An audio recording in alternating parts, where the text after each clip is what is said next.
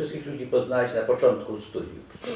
To, to nie był sam początek studiów, to było gdzieś w połowie, gdzieś w połowie studiów, prawda? Ci młodsi, oni jeszcze do szkoły chodzili, prawda? Oni, oni uczestniczyli w takim klubie, jak to nazywano wtedy ironicznie, poszukiwaczy sprzeczności albo raczkujących rewizjonistów, prawda? Zbierali się w, w, w, na, na, na sta, Starym Mieście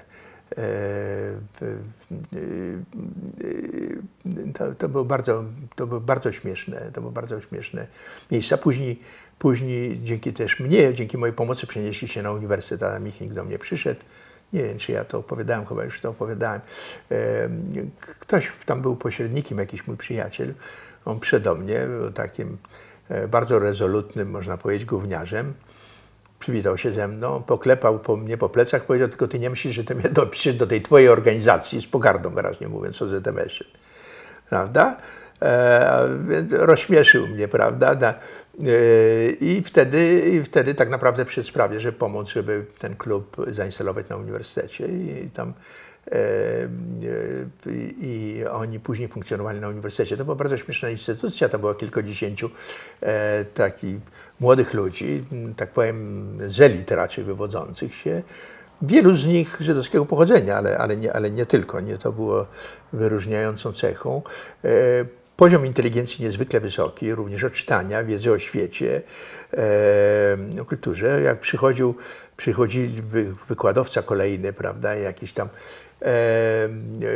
no to oni wstawali jak, jak w szkole, później siadali i później ostro dyskutowali, prawda? Byli bardzo, byli bardzo obkuci, bardzo inteligentni i później, e, kiedy już są na uczelni, e, to oni tworzą środowisko, które, e, które mój zresztą znajomy i, i naukowiec z mojego wydziału, taki Andrzej Jezierski, który był taki historyk gospodarczy, który był później pierwszym sekretarzem organizacji partyjnej na uniwersytecie, on ich nazwał komandosami.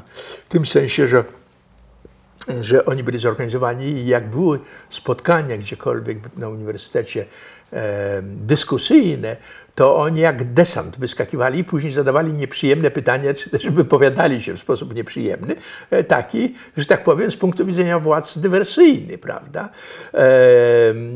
I, i, i, później, kiedy oni się znajdują na uczelni, to, że tak powiem, ich wpływy e, poważnie, poważnie rosną. Gdzieś tam, e, prawda, tam uczestniczę też w założeniu razem z Karolem Modzelewskim, który przyszedł do mnie wtedy, kiedy byłem tym drugim sekretarzem ZMS-u na uczelni. On wrócił ze stypendium z Włoch, ja go nie znałem.